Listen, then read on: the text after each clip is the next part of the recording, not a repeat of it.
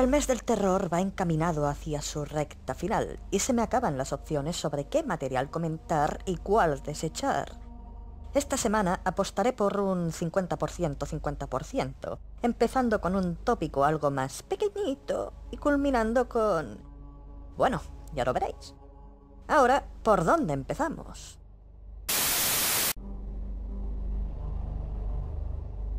Imagino que más de uno ya sabrá de la existencia de Saw, esa curiosa franquicia enfocada en trampas mortales y muñecos de trapo salidos de pesadilla antes de Navidad.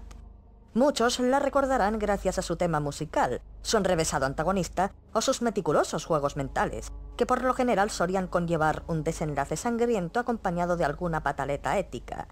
Fórmulas que, para mi sorpresa, duraron un montón de años, complicándose cada vez más, pero, ¿qué pasaría si os dijera que esta ya existe desde 1997 y que además fue ejecutada de mejor manera? Dicha creación se materializó en la forma de Cube, que guarda una premisa similar a Saw, pero mucho más tétrica y sustancial. El argumento no podía ser más sencillo. Un grupo de desconocidos y extravagantes individuos se despierta en un misterioso cubo, que se comunica con otros cubos a través de pequeñas compuertas. Dichas secciones suelen llevar a otros cubos de diferentes colores, pero algunos de ellos poseen trampas ocultas y otros suelen cambiar de lugar cada cierto tiempo. Obviamente, los desgraciados deberán encontrar una forma de escapar antes de morir de deshidratación o a manos de ese misterioso lugar. Una premisa bastante claustrofóbica, si lo pensamos detenidamente. Verá usted, la película no se molesta en explicarnos qué clase de lugar es ese o cuál es su propósito. Los personajes teorizan sobre ello, cierto, pero no es el plano principal. El estilo debería venir acompañado de sustancia y, en este caso, dicha sustancia se representa en dichos personajes, que funcionan como engranajes para dar forma a la degeneración de su plan de escape. Porque claro, la obra empieza estableciendo ciertos clichés. El líder decidido, la voz de la razón, la mente maestra, el experto escapista, etc. Si se tratase de una cinta genérica, todos ellos mantendrían su papel sin importar qué, pero ahí está la gracia. Todos ellos están encerrados en un ambiente de pesadilla. Da igual cuánto tiempo se muevan o hacia dónde vayan, no existe ninguna salida, o eso creen ellos. Además, está todo el tema de las trampas que, sin ser estudiadas con delicadeza, podrían causar la muerte de uno o varios miembros de la manada. Y claro, ellos no son expertos en estas cosas. No todos, por lo menos.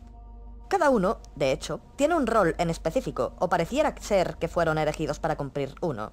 Pero vuelvo y repito, Cube es un concepto que funciona gracias a su sustancia, y esto implica reconocer y evaluar el hecho de que están encerrados en un ambiente asfixiante, sin comida ni recursos, abandonados a su suerte. No quisiera hacer revelaciones importantes sobre el argumento, pero ¿recordáis lo que le pasó a Jack Torrance en El resplandor de Kubrick? Pues aquí sucede algo parecido, solo que multiplicado por 5. Cube es otro maravilloso ejemplo de pescado al horno, cocinado a fuego en el horno de la cocina. Es lo que sería Saw si fueran por un rumbo mucho más sencillo y Lovecraftiano, hasta cierto punto. Porque vuelvo y repito, pese a que la existencia del cubo cobra protagonismo en todo momento, nunca sabemos de dónde viene o por qué existe, aumentando más la paranoia del espectador y los personajes en sí.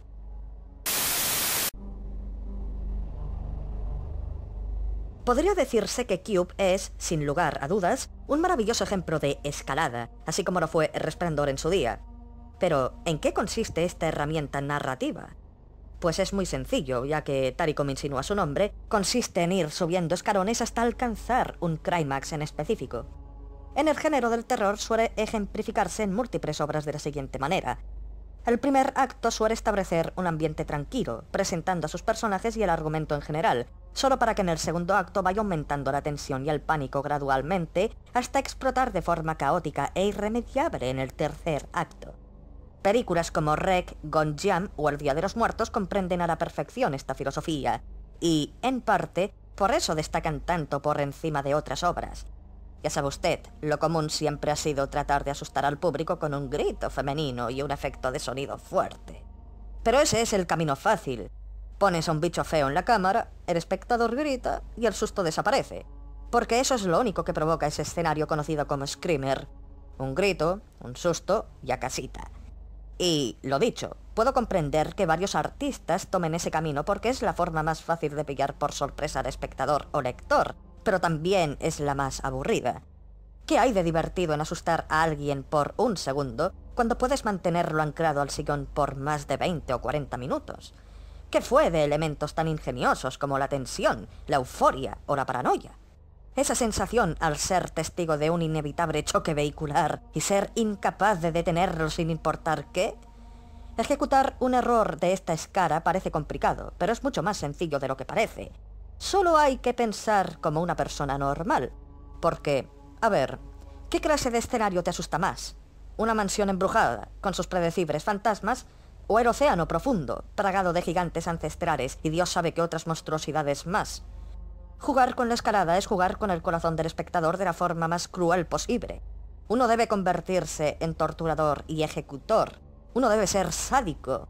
Y, personalmente, cuando pienso en la escalada, pienso en el océano. Pienso en un barco de vela a la deriva. Son las 8 de la tarde, una tormenta se aproxima y estamos lejos de casa. Tratamos de volver, pero la naturaleza nos lo impide. Más pronto que tarde, nuestro barco empieza a naufragar y debemos seleccionar nuestros utensilios para sobrevivir. Un chaleco salvavidas, un cuchillo, algo de comida y poco más. Tratamos de retrasar lo inevitable, pero el barco desaparece ante nosotros, dejándonos a merced de la nada total.